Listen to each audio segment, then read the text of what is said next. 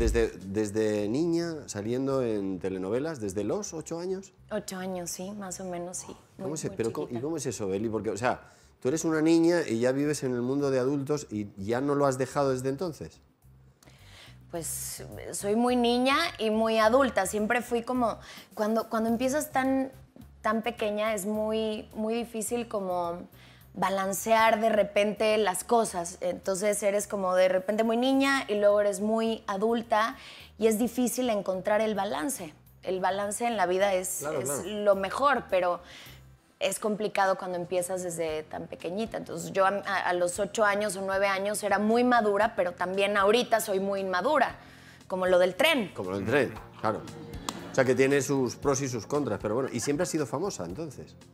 Siempre has sido conocida. Desde, desde, desde pequeñita. Desde y en el colegio era famosa por otras cosas. O sea, por ejemplo, me encantaba jugar a las canicas y a los tazos, que en México los tazos eran como, o sea, puros juegos. Siempre he sido muy como Competitiva. competitiva. Entonces yo era con todos, a ver, ¿qué jugamos? A ver, yo gano, yo quiero esa canica. Yo siempre era como, Belinda trae 10 juguetes al colegio. A mi mamá, por favor, que era un colegio de monjas, el Miraflores, y, y- y yo era como muy niño en ese sentido, que era como competitiva, me ¿Sacabas gustaba buenas jugar. notas? ¿Buenas notas? Fatal, Fatal. fatal, Muy bonito. fatal. Fatales, ¿cuántos suspensos de, Mm. de media?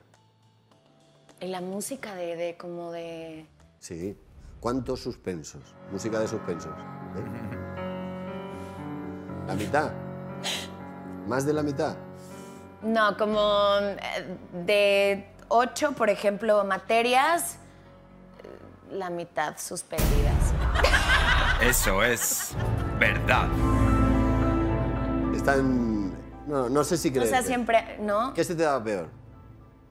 ¿Qué se me da peor? Sí, las matemáticas, la física, la química. No, la química fatal. Las matemáticas también. No, no también. ¿Qué se te daba bien? Los idiomas. La música.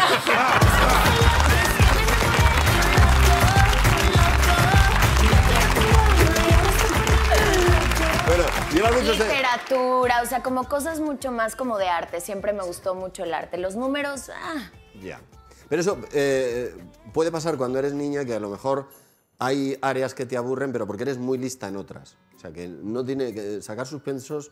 sí, yo creo que todos somos buenos en algo. Claro. Y bueno, en otras cosas no tanto, normal.